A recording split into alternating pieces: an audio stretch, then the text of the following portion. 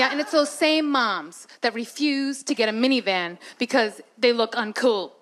Yeah, I have a friend like that. She says to me while I'm driving her in my minivan, Oh my God, I wouldn't be caught dead in a minivan.